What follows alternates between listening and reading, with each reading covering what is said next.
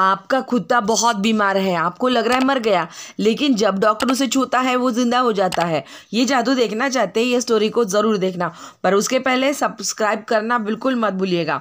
चलिए the weds greatest reward ये story की तरफ़। ये देखिए चाँद हाँ चाँद मस्त टिमटिमा रहा था।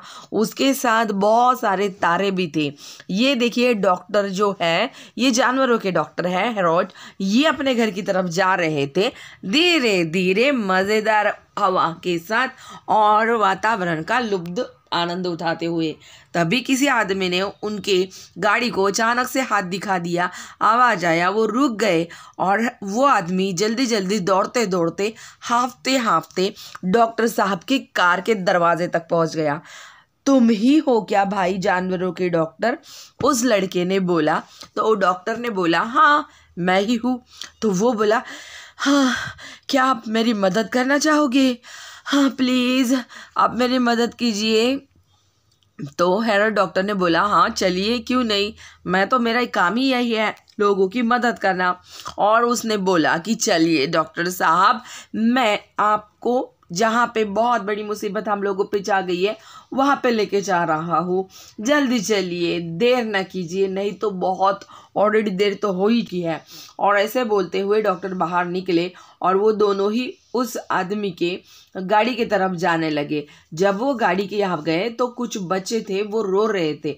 उन्होंने देखा, बहुत बुरी तरीके से दोनों तीनों बच्चे ज़ोर ज़ोर से रो रहे थे और उन्होंने जब गाड़ी का दरवाज़ा खोला तो बहुत बड़ा एक कुत्ता उन बच्चों के पास था, जो बिल्कुल सांस हिलचाल सब बंद कर चुका था। और उन बच्चों को रोते हुए देख के ऐसा लग रहा था जैसे कि वो कुत्ता मर गया है। और रियल में उसकी हालचाल, वो कुछ भी नहीं मूव कर रहा था, उसकी साँसें भी नहीं चल रही थी। तो डॉक्टर साहब ने उसे सबसे पहले गाड़ी से उठा के बाहर, नीचे रोड पर ज़मीन पर लग दिया। उसके बाद उन्होंने धीरे धीरे चेकिंग करना शुरू कर दिया। तभी उन्हें ऐसे लग रहा था कि जैसे कि वो कुत्ता बिल्कुल मर चुका है, उसकी सांस वो पूरी तरीके से उसने सारे काम करना बंद कर दिया था। उसकी आँखें हैं, पूरी तरह से बंद थी, उसका जो मुँह था, उसमें से टंग बाहर आ चुकी थी। ये सारे सारे लक्षण वो मर चुका है ऐसे ही थे। लेकिन डॉक्टर साहब ने जब अच्छी तरीके से जाँच पड़ताल की तो ऐसे लग रहा था जैसे कि इस कुत्ते को गले में कुछ तो अटक गया है।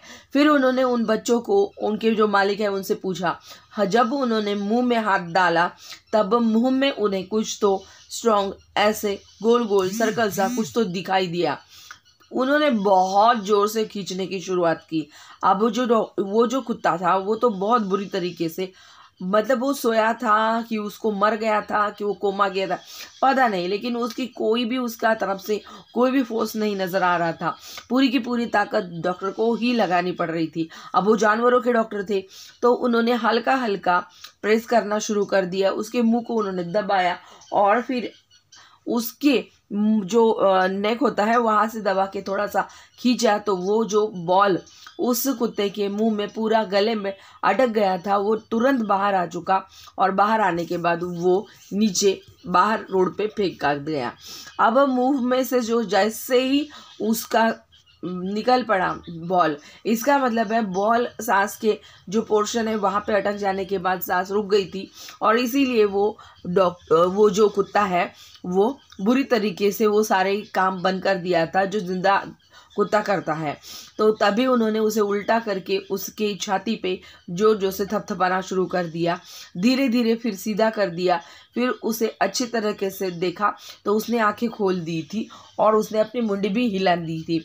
इसका मतलब वो थोड़ा सा अब अपने आप को अच्छा फील करने लगा था। उसकी सांस लेने की प्रक्रिया उसने स्टार्ट कर दी थी। धीरे धीरे थपथपाने के बाद वो कुत्ता थोड़ा थोड़ा उठने की कोशिश कर रहा था। अब पूरी तरीके से वो थोड़ा थोड़ा उठने लगा उसे और अच्छा लगने लगा। वो जो जो से साँसें लेने लगा और इस तरीके से जो उसकी रुकावट हो गई थी सांस लेने में, वो अच्छे से हो गई। तो दोस्तों, आप भी ये बिल्कुल ज़रूर याद रखना कि जानवरों के भी गले में कुछ अटक सकता है। तो ये स्टोरी आपको कैसे लगी होगी? तो लाइक कीजिए शेयर कीजिए सब्सक्राइब कीजिए, देखते रहिए। धन्यवाद।